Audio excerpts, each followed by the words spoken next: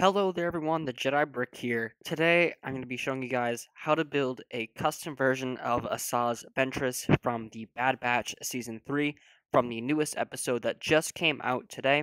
I'm going to run you through all the parts and pieces that I used to create this minifigure, so let's get right into it. So I'm just going to start off by saying this was a very difficult custom to put together.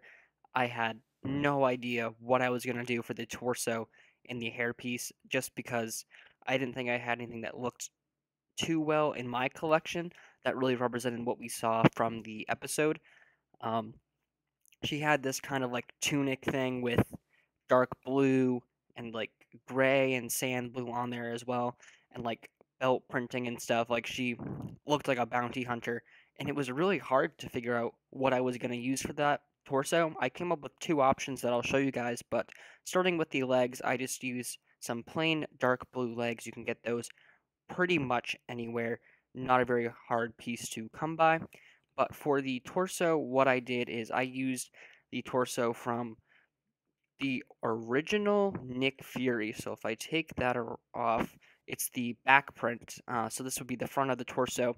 Just flip the arms around to have the back print uh, on the front. So this is from the original Nick Fury. Uh, it came in like his flying car set, the green one. Um, so that's where I got this torso from.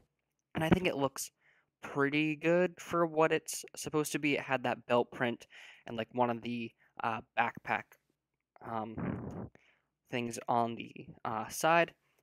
And I gave her some gray hands on there as well and of course the yellow lightsaber, which is just a yellow lightsaber blade, and one of the curved hilts that I use for Ahsoka. So that's one option for the torso for Ventress. The other one that I came up with was, if I just take that off, is the Doctor Strange torso flipped around. I also dropped my light. Um, so this is the Doctor Strange torso just flipped around as well. You can see the front right there. So that one also looks alright. It also has that belt print on there, which was really one of the things I was trying to get on to this minifigure.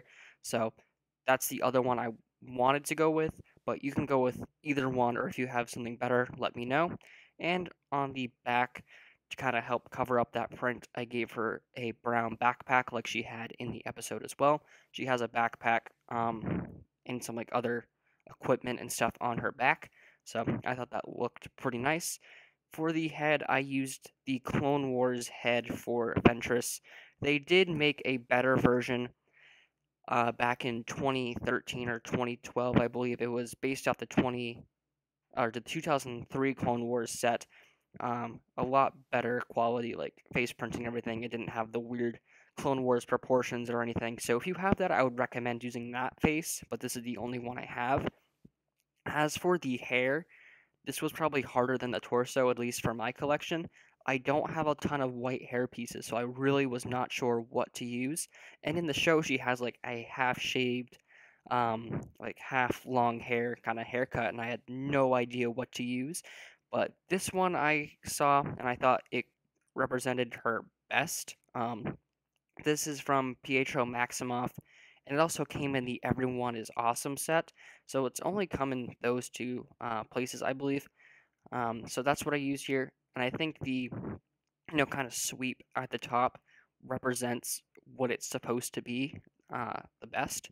I was also going to use the Mohawk piece from Storm for the CMF, but that just seemed a little, you know, too out of place. Like it's a Mohawk. It's not really like her, you know, half shaved head. So I didn't think that would work too well, but that's it for the custom Asajj Ventress. I'm not overall super happy with the way this came out. It's mostly the face. I don't like the Clone Wars faces at all. Like I, they look so ugly. This is one of the uglier Clone Wars, um, you know, minifigures. Along with that Chancellor Palpatine, like that one's just awful. Um, so if you have a better version of like Asajj Ventress or a Night Sister, 100% use that one. Almost anything is better than these like weird faced Clone Wars ones, but it's all I had on hand. But that is going to do it for this uh, custom. I really enjoyed this episode as well. I've been enjoying Bad Batch season three. I think it's my favorite season out of all three, and I can't wait to see what happens next. But if you guys want to see me do any more customs from the Bad Batch or just anything else Star Wars in general, leave it in the comments section down below. I love making customs for you guys, and I've kind of been running out of ideas, so I haven't really been doing a lot of these recently. Um, so if you guys want to see something specific, just let me know, and I will gladly do it. But yeah, thank you guys so much for watching. I hope you guys are having a great day, and if you're new here, please consider subscribing to my channel, uh, turning on notifications, and liking this video. Uh, means a lot to me.